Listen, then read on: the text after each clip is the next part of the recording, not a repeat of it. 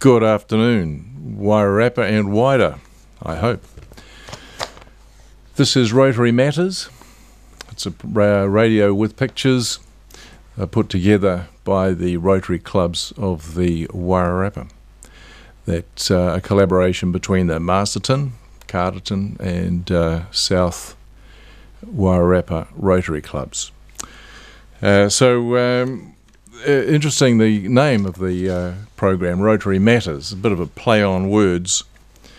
Uh, of course, Rotary in the past has been a bit of a, I suppose you could say, a shadowy organisation in one sense. There's not a lot known about it because the general mantra is service above self, and so Rotary's been satisfied to just do good in the background and not particularly call attention to itself over the many years that it's been going. And so Rotary has been um, uh, doing good in the hood, as they say, um, without making too much noise, but it's a force of good. And it matters in the world. It should matter, and it should matter to you. Um, did you know, for instance, just in New Zealand alone, I've got a little list of things that Rotary's been responsible for in New Zealand that quite surprised me. For instance, in New Zealand alone, Rotary started the Crippled Children's Society in New Zealand, built the first Karitane hospital. Uh, Rotary organised the first mobile TB clinic. Who would know these things? Um, Rotary was responsible for starting milk in schools. They bought the defensive driving courses to New Zealand. They were being operated by Rotary in Australia, uh, along with the authorities there, but um, we, it was Rotary that it across the ditch. Uh, we also began the first healthcare camps in New Zealand. Uh, the, the National Kidney Foundation, Riding for the Disabled, uh, the Asthma Society, started by Rotary, and the National Children's Health Research Foundation. All of these Rotary uh, at least had a huge hand in. Uh, internationally, of course, Rotary reaches further, far further. It's throughout the globe uh, with um, hundreds of thousands of members and thousands of clubs throughout the world doing everything they can to make life better for people in the world. They're um, we, uh, for instance, have the End Polio Now program. It was I've said this on the last program. I spoke about End Polio Now, but it's an astounding program. Uh, when we think that such a short time ago, polio was a major killer. It was a major problem. The disease is now almost eradicated due to the um, the force behind Rotary's um, efforts assistance with by people, for instance, like the Gates Foundation, Bill and Melinda Gates, uh, as Rotary put together uh, fundraising, do fundraising, put together um, packages. The Bill and Melinda Gates Foundation match uh, the money that we raise, a two for one, which is an astounding gift to mankind. Uh, one of our um, transitory members, Phil Smith, who hails from uh, Smethport in Pennsylvania, currently stuck in the States, of course, with the current COVID situation. Uh, he's um, working hard along with the Crutches for Africa campaign, which another play on words. You know how we talk about we've got stuff for Africa well, these are crutches for Africa. So in the States, of course, people get by the crutches and you know, there's nothing they can do with them. They've just got them at home. Uh, crutches, wheelchairs, um, you know, walking frames, all those sorts of uh, health assistance devices. And they're all uh, just sitting around in people's garages and cupboards and attics and stuff. And so uh, the Crutches for Africa campaign advertise and gather up the crutches throughout the states, or actually throughout the world, wherever they can get them. Uh, pop them in containers, container loads of crutches, and send them off to uh, countries who don't have crutches, where people are uh, crawling around uh, really uh, on their hands and knees, if they've got hands and knees. Uh, so huge makes a huge difference in the world today. Um, the main focus is on promoting peace, fighting disease. Uh, we provide clean water, uh, embracing the basic principles of peace and unity. Uh, we have a mantra, or our, our, I guess, our guiding principle. We call the four-way test, and it goes like this: In everything you think, say, and do, measure against this. Is it the truth? Is it fair to all concerned? Is it beneficial to all concerned? Will it build goodwill and better friendships? So, as I say, Rotary does matter. It matters in the world. It has a great um, founding, founding principle. Uh, and as we move into the future, uh, the the structure of Rotary well is already changing. It, of course, was set up uh, by businessmen in its infancy, and it was um, a club of male philanthropists who had got together, small number at the time, but it expanded, and it was uh, like-minded businessmen, uh, starting obviously in the United States. Uh, but in in recent years, of course, um, we have realised that our reach is so broad that the lives that we touch and affect so disparate that we need to, uh, a, broader membership. And so, uh, in recent years, relatively recent years, uh, we are embracing the uh, induction of women into our clubs, which has been a, a great step forward. And our upcoming conference has a theme of inclusiveness. So, uh, and uh, moving forward and change for the future. How do we change the model of Rotary so that it becomes and remains relevant to the future? We don't want to end up with that Kodak moment. Now, Martinborough Fair. I know I've spoken again about Martinborough Fair, but it is dear to my heart, I must say. I spent quite a bit of time in with the fair. I uh, was a co-convener of the fair uh, for about six years ago. Well, I guess nine, and then co-convened for three years. So my duties in at that stage were to change the way we ran the fair from a paper-based system to a computer-based system.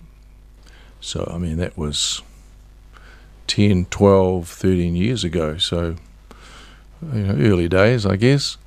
Um, but we moved to a computerized paper based system. So it's about time now we move to a cloud based system. Now, that'll be another migration which will have to happen. But right at the moment, I, for my sins, have picked up the co-convenership again, and I'm looking after the Martinborough Fair. And of course, our recent problem was the COVID-19 problem. So we were all lined up for our. We had the February Fair, which was a great success.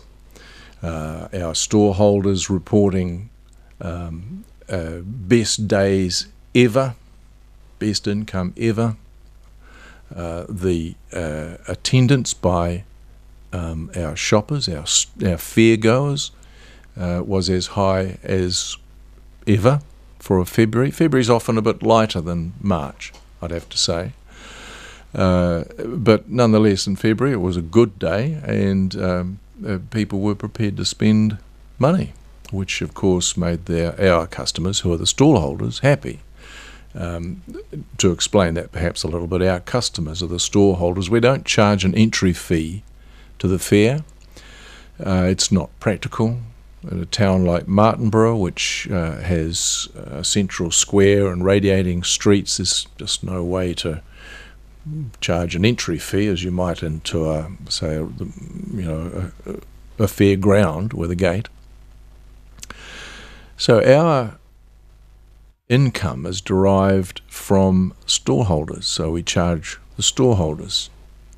And so our job is to look after the storeholders and make sure that they're well situated and well looked after and that they have shoppers who will buy stuff from them. Uh, so February was great, but then along came COVID, and suddenly the week before, we were faced with lockdown, a level two, a level three in Auckland, of course. So it was going. It was that was Sunday morning, and it was seven days. So it was going to be the next Saturday was going to be out of the picture by one day. But in the back of our minds, we did have the Napier Art Deco uh, fair. Is it a fair? Uh, they cancelled, and then the level restrictions were lifted just before uh, it would have run, and so they came in for a certain amount of criticism for having pulled the plug too early.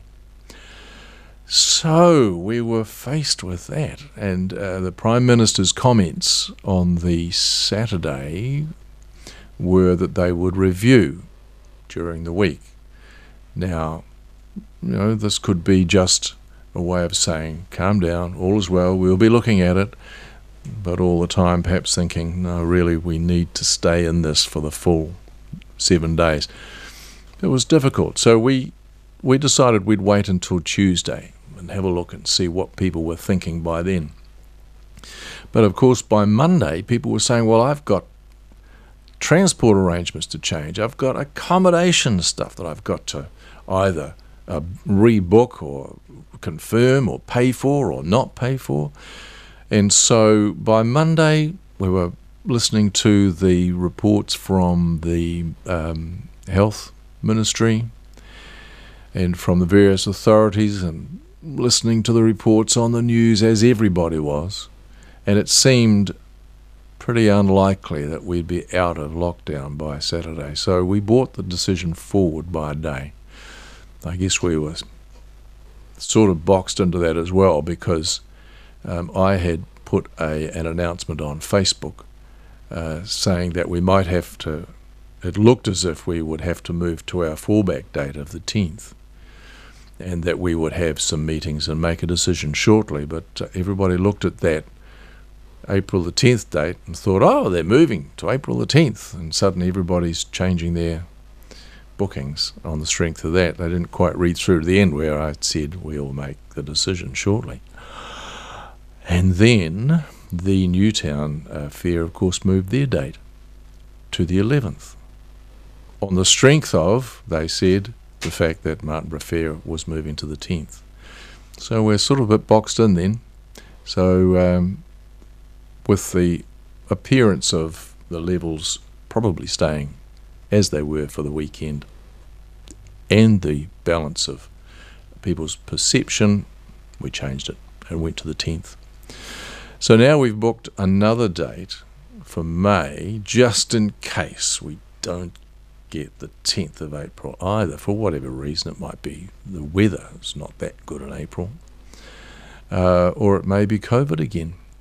So, but we will announce clearly when we're going to move, we hope. Uh, but the fair, um, I probably mentioned before, and if you've heard me before, that uh, was the brainchild of one Bill Fetch, one of our members from way back in the 70s. Um, interesting. Initially, the fair was not well thought of. He brought back the idea from Germany when he'd been for a, an operation and saw it operating there, the, this model. Um, when he presented it to our club oversight, to the board, they said, no, never fly. And they were they didn't believe in it at all. So um, I, have heard rec- a little while ago now uh, uh, uh, folks from the Carterton Club saying that they had turned down the Martinborough Fair. And uh, I wonder, I, it's not documented exactly what happened, but I wonder whether Bill had gone to Carterton because, of course, the South Wairarapa Rotary Club was a child of the Carterton Club. Um, the Carterton Club formed the South Wairarapa Rotary Club. So it's made, it's quite possible that Bill, who was very keen to get this off the ground, had gone to the Carterton Club and perhaps floated the idea there. And they, like our board, looked at it and thought, nah, it'll never fly. Uh, but Bill persevered, and by uh, I think it only took a couple of years. We're slow learners. Eventually, he was given permission to run the fair, and and to be fair, the first fair did operate at a bit of a loss. So you know the board felt a bit vindicated, but it's gone on from there to be quite a successful operation. It's great for the district. It pulls in a reasonable amount of uh, money that make or makes a reasonable amount of money available for our club to put into the community. We're able to uh, support, uh, for instance, uh, three bursaries at the Kuranui College.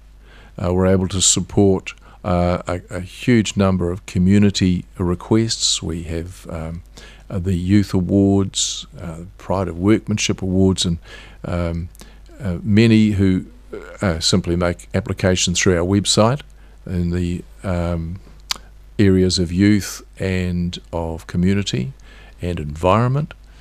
Um, uh, and so we're able to support all that out of the money from the Martinborough Fair. Um, so, who helps at the fair? Well, we've got the Lions for a kick-off. The Martinborough Lions, a huge help from the Martinborough Lions. They've every year, for I don't know how many, well, most of the time, uh, have been handling the trestles for us. So they have, for instance, uh, expertise in um, forklift driving and have the manpower to manhandle the trestles. They're big wooden tables, uh, probably what one point, couple of meters wide uh, and you know half a meter you know deep on on you know, trestle legs, so the three part organisation. So they bundle all those up from the various piles, stock piles, and deliver them around the fair to those who have ordered them. Uh, a couple of years ago, we divested ourselves of the trestles and gave them to the Lions Club to look after, and so they're able to um, hire them out or give them out loan them out, whatever, uh, themselves. Now they're completely in control of them.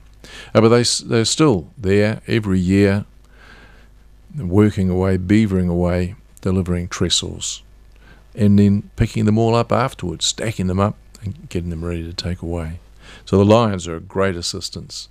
Uh, the rotary inner wheel is another uh, invaluable um, assistance.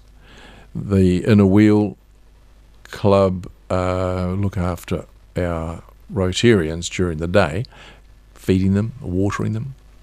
They bring along all their home baked goods or whatever they do, their f- delicious food that they provide, and their great smiling faces all day. They uh, uh, serve the Rotarians as we come in and out, we've got to do our. We're, we're up at five o'clock in the morning. Uh, at which stage we are preparing for the fair and guiding people and trying to make sure people don't bang into each other. All the traffic around the square is pretty fraught. Uh, we've tried to think of all sorts of ways that we might make it easier by perhaps having certain times at certain parts of the fair uh, can come along and get their stalls set up, but it's not been easy to sort of compartmentalize like that because of the layout of the fair. It's rather difficult uh, to visualize how we might do that. If anybody's got any good ideas, you could flick me a line at convener at martinboroughfair.org.nz and let me know how you think it might better be organised uh, we've thought of giving time slots so that people perhaps in the central square were supposed to be there from five till whatever. But people come the night before and set up, and uh, or not set up, but they get themselves ready to set up. Um, and some people are there at four o'clock in the morning, three o'clock in the morning, setting up. So It's a bit difficult, and they're all over the all over the place setting up. Uh, so if you've got any good ideas, give me a call. But Inner Wheel, we can't say enough. Wonderful food, wonderful company. Thank you for your assistance. Of course, during the day, we have mountains of rubbish that's generated by the wrappings from the things that people buy, from the mostly or a lot of it's from the food. So we've got food wrappings and food trappings. Uh, and we, last couple of years, have started to get more serious about recycling. And it's quite a fraught task, the whole recycling thing, where um, uh, we set up our you know, glass, plastic, paper bins, that's all very well, and we have people policing them. Well, policing perhaps too strong a word. Um, uh, to make sure that we get the right things in the right bins. But if you turn your back for a second, someone will pop a plastic in a glass or a glass in a plastic or a tin in a paper, or, and it all gets contaminated. You've got to sort it out afterwards. So it's a bit of a trial, and recycling is um, in its infancy a bit, I think. But we're trying. We, we, we're experimenting with different ways that we can uh, uh, segment the rubbish so that it can be effectively recycled and our, our, our rubbish footprint is reduced. Uh, so this year, likewise, we've had more of a thought about it. We've re- reduced our recycling, the number of bins to make it simpler, but we have also reduced the actual rubbish bins so that there's less place for people to put, just chuck something in the rubbish. They have to find somewhere, and it'll be a recycling station that is they're more likely to see. Uh, and with that, we hope that they there will be the tendency to recycle. There'll also be rubbish bins there. But well, you know, you can lead a horse to water and all that sort of stuff.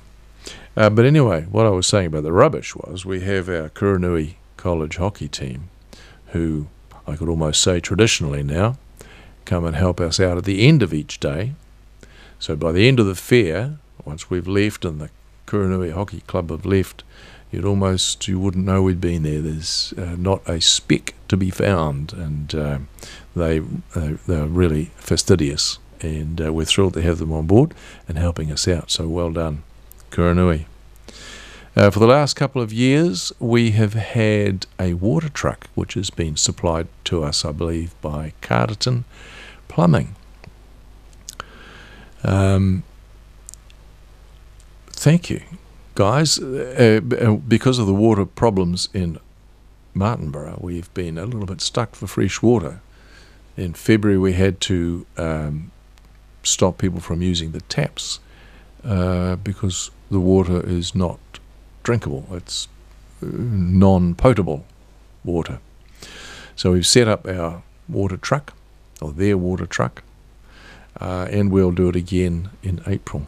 Have another um, source of potable water. Uh, but uh, thank you to those folks for their uh, gift.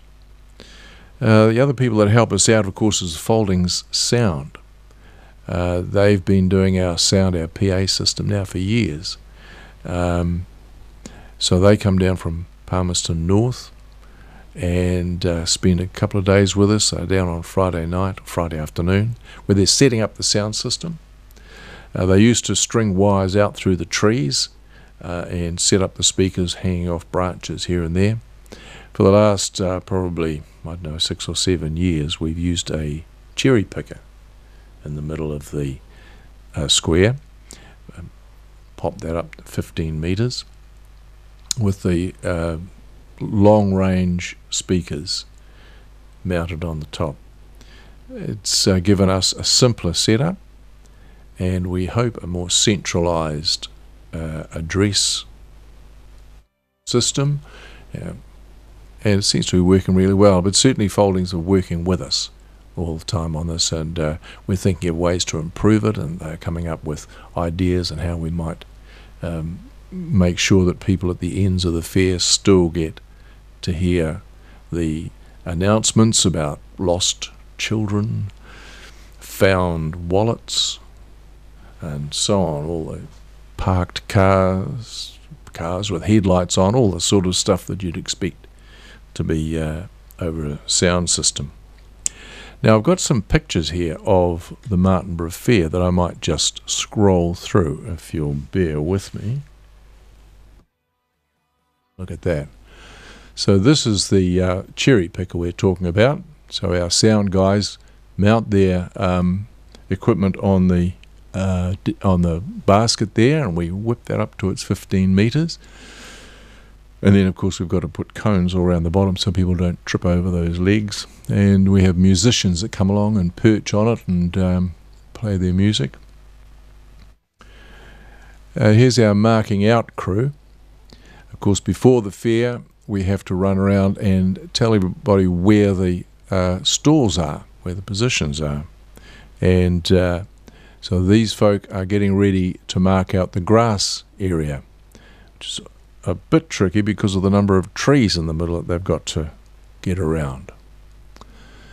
Here's just a shot of people at the fair during the day. So this is looking back up Texas Street. There's the uh, water truck to our right there.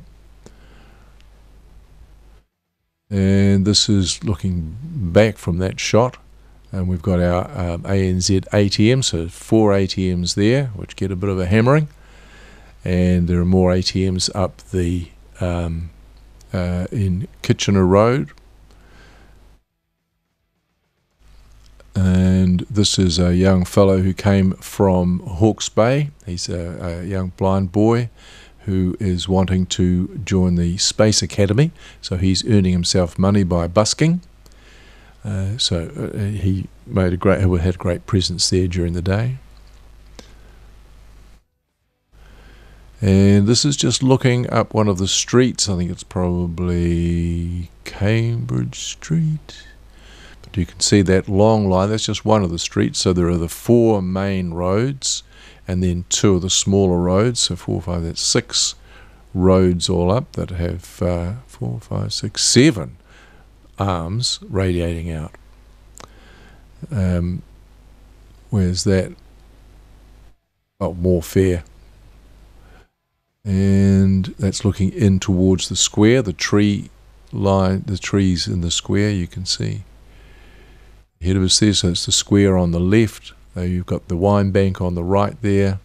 And right down the other end, you'll see the bottling, uh, Wairarapa bottlers. Um, and somewhere in the middle there, there'll be a queue of people lining up for the uh, stand, which has a queue all day long. And I'm hoping to have somewhere in here, we'll have some pictures of the Rosti stand. Where's that? Oh, that's uh, the wine bar to the left there, and we've got some um, uh, stalls set up, or they're not our stalls, they're set up by one of the shop owners on their land there. That's uh, where's that looking back up? Maybe that's uh, oh, there was Cambridge Street. Well, there's the line for the Rosti stand, as you can perhaps you can see in the middle there. There's the line, queuing for the Rosties. A simple dish. It's just potato and I don't know some magic ingredient, probably 13 different herbs or secret herbs and spices or something. But boy, it's simple and good here we are. This is the uh, it's the assembly line for the Rosties. I remember in early days they used to have four pans or five pans set up, but of course they are now uh, go through 400 kilos of potato each fair. 400 kilos, imagine that. So that goes through that uh, where they just shuffle the pans along there took a few. oh, there we are. So this is coming from the other end. So this is where they're starting to get brown and delicious, and they're being cut up, ready to be served. Uh, no idea what that shot is.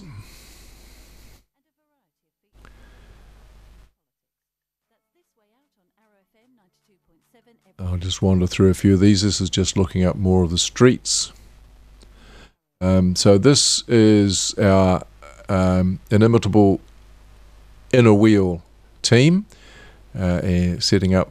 They've set up our um, breakfast and food for the day, and they look after us for coffee and tea and all the rest of it. And that's the crew uh, taking a well earned break in the fire station. Uh, so we go out from there and do the um, marshalling duties or just making sure that everybody's uh, looked after and that there are no issues. And then we sort of circulate in and out, sit here and have a cup of tea, and then back out again on rubbish duty or recycling duty. One of our storeholders.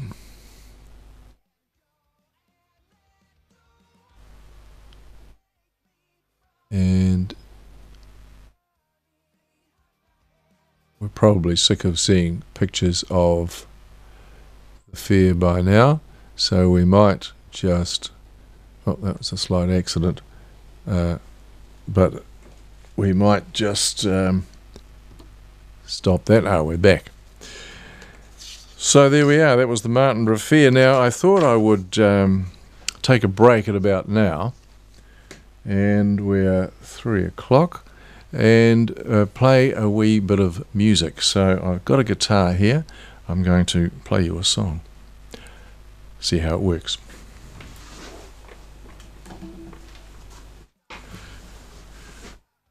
Okay, here we go. Um, so, what are we going to do? Um, bah, bah, bah, let's do um, this little song that I heard um, Satchmo sing.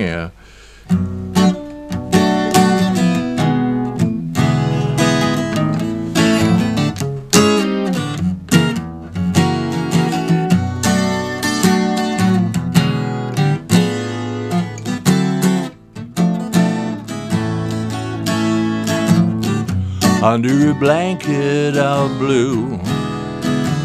Just you and I beneath the stars, wrapped in the arms of sweet romance. The night is ours under a blanket of blue. Let me be thrilled by all your charms. Darling, I know my heart would dance within your arms. Summer night's magic enthralling me so. The night would be tragic if you weren't here to share it, my dear. Covered with heaven above. Let's dream a dream of love for two, wrapped in the arms of sweet romance, under a blanket of blue. A summer night's magic, enthralling me so. The night would be tragic if you weren't here to share it, my dear, covered with heaven above. Let's dream a dream of love for two, wrapped in the arms of sweet romance, under a blanket of blue, under a blanket of blue, under a blanket of blue.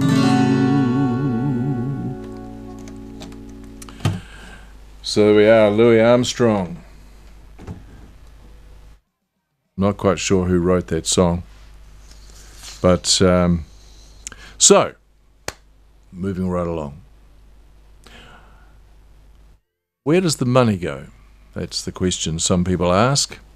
Where does the money go? We get quite a lot of money. I guess in the scheme of things, when you think of that um, uh, chap, 90 uh, year old in Britain, who decided to walk in his backyard and raise a couple of thousand dollars for charity and ended up raising $16 million. $100,000 sort of pales in comparison. But as a regular fundraiser for a club, um, the Martinborough Fair does quite well, or reasonably well.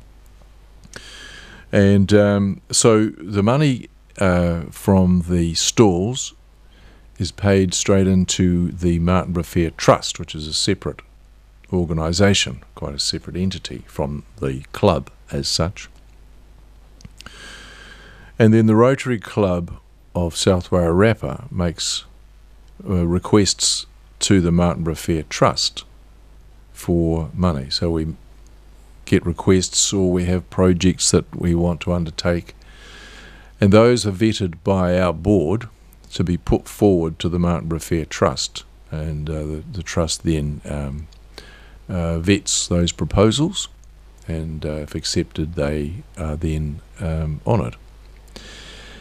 Um, we have the the effect of having this sort of uh, fundraiser, this ongoing fundraiser in a club, does change your culture quite a bit.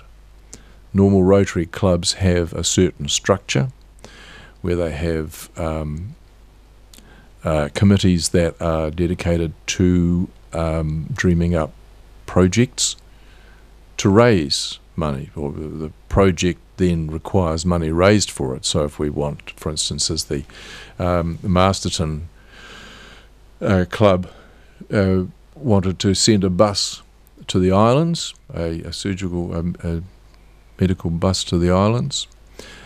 They decided that would be a great thing to do, and then did a whole plan for it. How, where are we going to get the money from? Where are we going to get the bus from?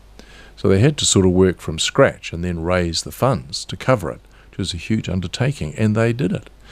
Got the bus, they um, uh, kitted it out, got it shipped up to the islands, and and got it in operation, got it garaged and maintained and so on.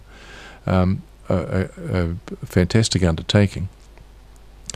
Our culture then has developed slightly differently in that we now have an income and we then have to judiciously apportion that income to people who need it. And there is no end to the need. There are uh, people, you know, throughout the South Wairarapa, which we service mostly with these funds. Um, we also service the uh, immediate Pacific Islands. Uh, so we're keen to hear from people who have needs in the Pacific Islands for our international committee. Uh, but having this fund source has driven really the structure of our club. So now we have um, committees whose job it is to uh, decide where to spend the money as opposed to uh, what projects we can dream up and then try and find the money. So uh, that's a culture that um, I personally am keen to see change. I'd like us to go back to a project focus, but it's so easy to just wait and people will ask you for money because everybody wants. They have a project. People have got things happening, and there are, as I say, there are bursaries to finance and uh, um, overseas students and so on and so forth. Uh, so our community, our committee structure uh, is we have the community service slash now COVID nineteen committee, whose focus is, as it uh, probably appears from the name, from the to the community that is our local community or, or communities within the South Wairarapa, with a particular focus at the moment on COVID 19 recovery. And how can we help people recover from the effects of the pandemic? Are there th- areas that need specific focus? And so that committee has looked for um, projects that people are doing that have impact and are, are um, driven by the needs brought about by the pandemic. Uh, one of the projects that uh, they have undertaken is to help the Featherston Community Centre establish um, consulting rooms so that the local medical centre and uh, medical professionals in the district can establish better healthcare um, consulting facilities. Um, there's a bit of a dearth in Featherston, people of, of uh, private facilities. So while we had the uh, community centre there had um, rooms, uh, privacy was an issue because, of course, because well, not of course, you wouldn't know, because the walls were glass. They had windows in all the walls, so it's like being in a bit of a fishbowl, uh, both visual, visually and auditorily. Is it the word audio logically or whatever? You know, sound wise. So um, the Rotary Club helped us to um, line those walls, gave us some money to help line those walls and to make them uh, private. We are at the tail end of this project now. I say we, we obviously, there's another hat I have is uh, on the board for the Featherston Community Centre. So I will say we. Uh, we're coming to the end of that project now. Uh, the painters are there as we speak, probably, and the builders and painters working together to finalise some of the uh, little knickknacks that have to go in to uh, finish off tidying the uh, um, rooms up.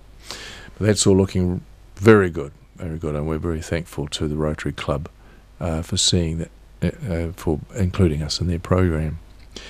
Um, the other uh, committees. There's the Youth and Seniors Committee. This used to be just the Youth Committee, uh, but um, our President, current President Brian Baxter, uh, decided that really we ought to extend that to the senior citizens as well, and that we didn't really have a committee as such, or a, an arm or a focus group that would look at senior citizens. So we were mostly, which most of our membership, for goodness sake.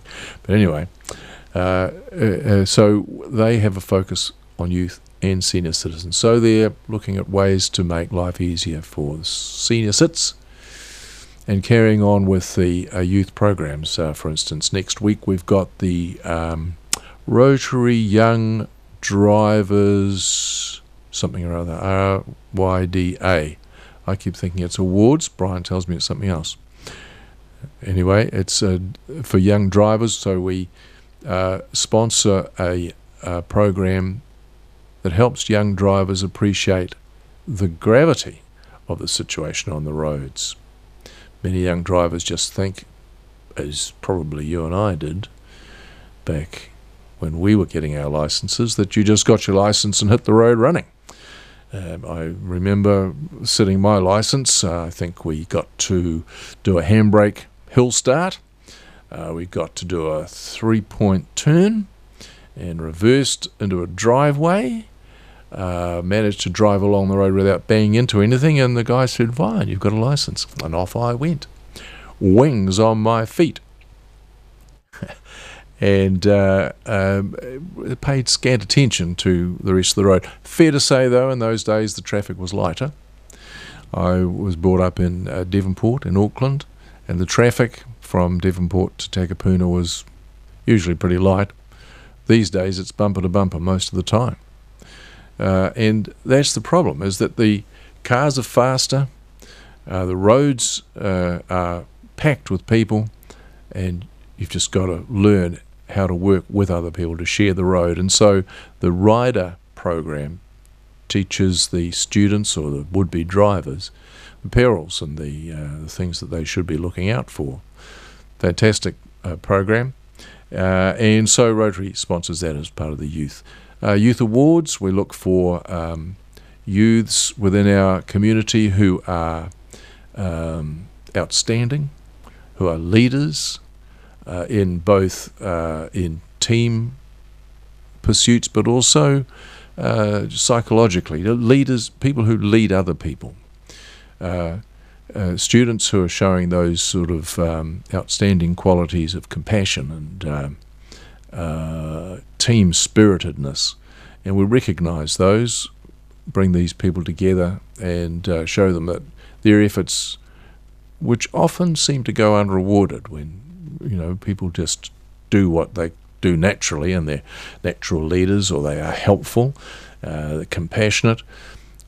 Uh, just to recognize that these people are effective in our society, that they're needed and cherished. I think that's a great uh, um, thing that the Rotary can bring to these folks. So there's the Youth Awards. Um, we also uh, do, oh, well, I'll move on from there so I'm running a little low on time. Uh, youth, uh, uh, sorry, Environment and International is an, another co- committee. So we're looking at how we can best assist in making our environment a better place to be in. Last year, um, I was the president of the club last year, and so I rolled up the international and environment together. It occurred to me that environment was really a an international problem. That if we act locally, we can have global reach. The things that we do locally can have global reach. So it seemed to me that an international committee should also be looking at the environmental environmental issues within the country and within our local environment and how that impacts uh, internationally. So their focus is both local and international, um, but particularly looking at the Pacific Islands and how we can help. Out there, we uh, their brief is also to make sure that we provide um, the emergency response kits. Uh, each year, we provide a, couple of uh, emergency response kits into the Rotary Emergency Response Kit program. Um, there's the shelter boxes that are provided for uh, emergencies as well. Uh, so their brief is to uh, provide money and put aside money and have it provided into those programs. Uh, there's also um, our um, more internal committees. There's the uh, membership committee, of course, which looks after, as that may suggest, after our members, make sure that they're um, welcomed, that they have the tools they need to be members of the club and to um, to learn and to grow within the uh, club. Uh, there is also the club development and media committee. Of course, their department is more looking about governance, governance of the club, uh, and its profile within the community. And then, of course, there's the fellowship committee, who are they're focused on making sure we have a bit of a good time while we're doing all of this. So they are making sure that birthdays get honoured and that um, uh, functions other than business meetings are carried out and are fun to go to. Um, so that's how the club is structured, um, mostly predicated on the gift that we have from the Martinborough Fair. Uh, conference is coming up. Conference uh, 2021, and um, the focus and feature of the conference this year is changing our clubs for 2021 and beyond. I mentioned earlier the need for change, and in any organisation, uh, I remember many years ago having someone tell me in a sales context that businesses who are doing the same as they were 18 months ago will be out of business in 18 months' time. A broad brush scenario, perhaps, but it does uh, it does um, illustrate the need for change. I mean, they say that the only people that like change is a wet baby, or the only person that likes change, a wet baby. Uh, change is difficult. Uh, we're all, always used to doing the things we always used to do. Uh, they make sense to us. They're comfortable. Um, with the best will in the world, uh, where we have a, a, our own club, a diverse people, uh, enjoy each other's company. They love to get together on a weekly basis. We've tried to make it fortnightly, but nobody will bite. Everybody wants to be there. They want to have a yak. They want to have a beer or a wine or whatever and get together and have a chat and a bit of dinner, and um, they enjoy that. Uh, and with the best will in the world, there are, people do sit at the same tables. You know, you sit with your mates. People like the things that they are comfortable with, and so to suggest change uh, is is a fraud. You know, we've got to, uh, uh, as they say, take people along with you and, into change. Uh, so the focus of the conference will be looking at how how how does Rotary change its um, model going forward. Now, there's a, another buzzword going forward. Um, how does Rotary change its model for the future? Because well, we're moving into a digitized world. Uh, we found we found suddenly that uh, people can work from home, and uh, the wheels don't fall off businesses. Now, who would have thought that? uh, a couple of years ago, three, four, five years ago, I was uh, in a company working from home part of the time uh, and going in for meetings, and they were a little bit nervous about that. What was I doing at home? You know, and I would fill in my timesheets or whatever. Uh, but there's always that thought, oh, you might not be quite working as hard as you would be at work. Well, suddenly we find that people who are working from home work better. They're less distracted. They work longer hours. They are more productive. And so working from home has become a reality uh, and accepted. Uh, so what does that mean for Rotary? We've got a we're a connected world. Um, during the lockdown, as many other people and organisations found, we had Zoom meetings. We discovered Zoom, and people of my age and older were discovering how to work their computers and work their cameras and switch on sound and mute and unmute and uh, get the camera happening. And uh, many had backgrounds going. One of our folks had uh, his favourite a picture of his favourite pub in the background, so he was lounging in the pub during the meetings. All great technology. Uh, eh, but what does all this mean for Rotary going forwards, the, for the club of the future? Do young people, when I say young people, I guess I'm talking, you know, 40 plus, uh, what do they want? What, what would I have wanted at 40 in a club, in a group?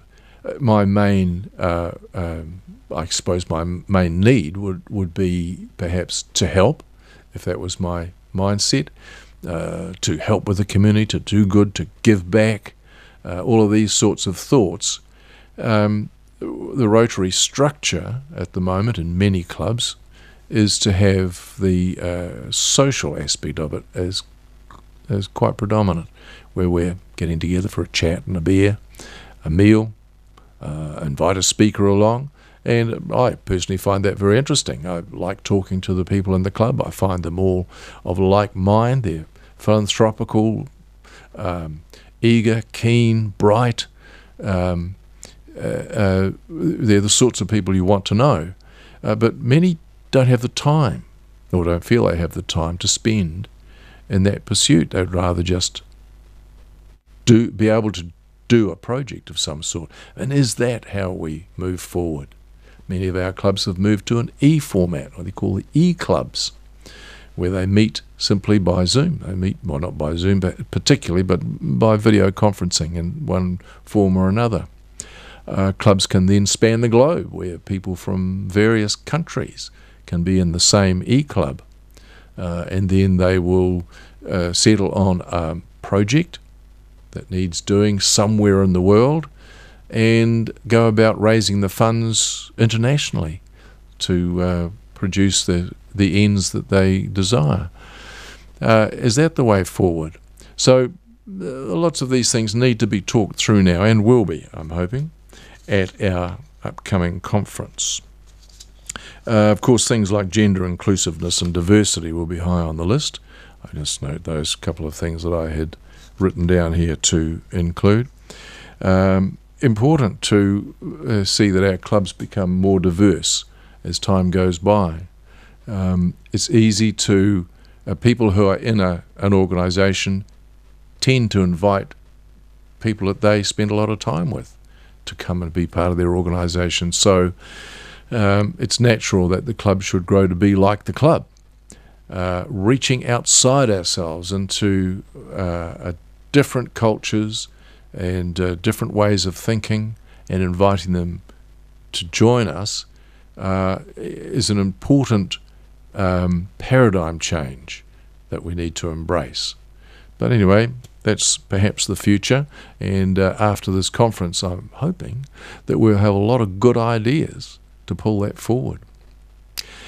Anyway, I think we've pretty much run out of time, so I'm going to sign off. Um, I've got probably a couple of minutes, so I might just have to go out with a song. Good excuse for me to play a song. So, what do we do? What about. Um, Paul McCartney. He's one of my favourites. Um,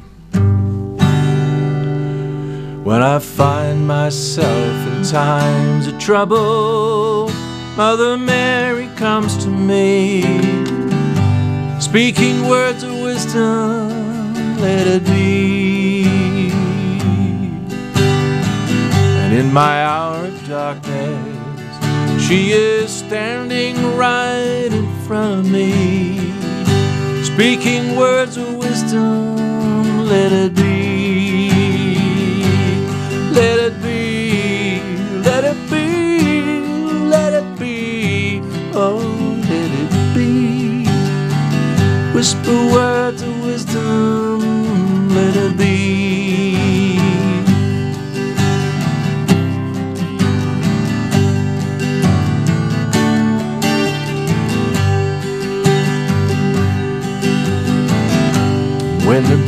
broken-hearted people living in the world agree, there will be an answer, let it be.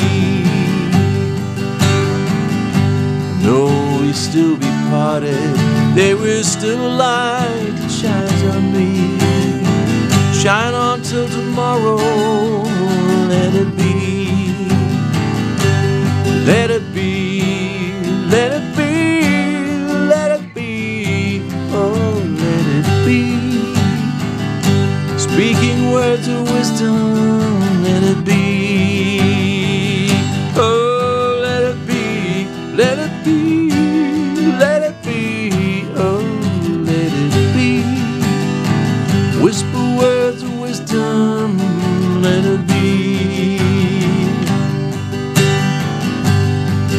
Night is cloudy, still a light that shines on me. Shine on till tomorrow, let it be. I wake up to the sound of music. Mother Mary comes to me, speaking words of wisdom, let it be.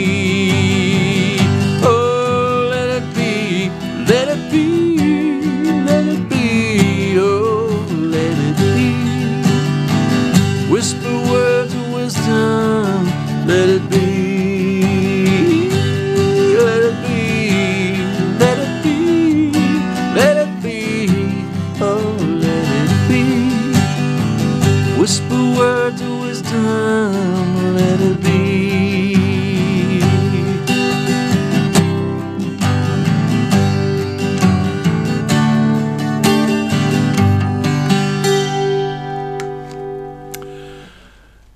So, as they say, that's it from us. Rotary matters in this world, and here is uh, the end of our time at Rotary Matters. Goodbye. Stop.